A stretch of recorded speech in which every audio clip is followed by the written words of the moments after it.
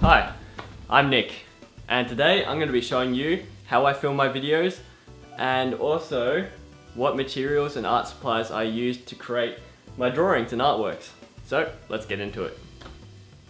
So first things first, this is the paper that I use. I usually use A3. Um, I use two brands. This one is the first called Arttec. Please sponsor me. anyway, it's A3, it's 210 GSM paper, whatever that means really, um, and it is suitable for watercolor and ink. Um, that's what I need, or else the watercolor and ink stuff up. The most important thing that I use is my pen, which is always an Artline 200 0.4. Um, I love these pens and there's nothing else that I can really use that, um, that works as well for my type of drawing than this pen. So I go through a lot of these pens, um, but funnily enough, I've never actually worn down the whole pen. I've never like completely used all the ink. The only times I have to switch is because I sometimes use the nib uh, too much, like press too hard on it and just completely stuffed up. But that doesn't happen too often. Um, so the second thing that I use is a pencil. Didn't didn't see that one coming. Um, I don't know what this is. It's so worn that I don't even know. It's probably like 0.7 or something like that.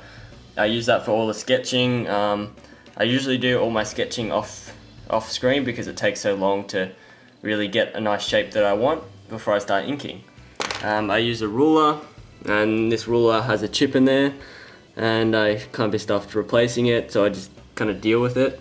Um, there's rubber um, for most of my shapes that I need, like big circles and stuff like that, I usually sketch them out with a Mathomat like this. Um, comes in handy.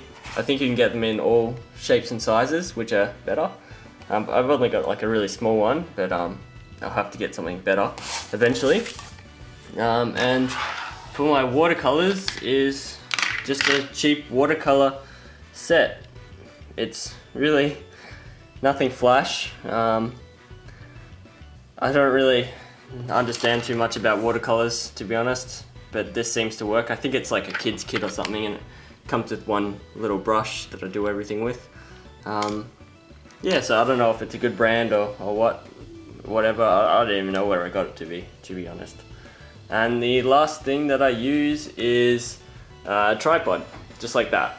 Obviously the camera's not there um, because I'm holding it, um, but that's how I pretty much film all my videos. I just put it over the paper like so and try and zoom in and zoom out and try not to get my head in too many shots which never works because half my video is just my head.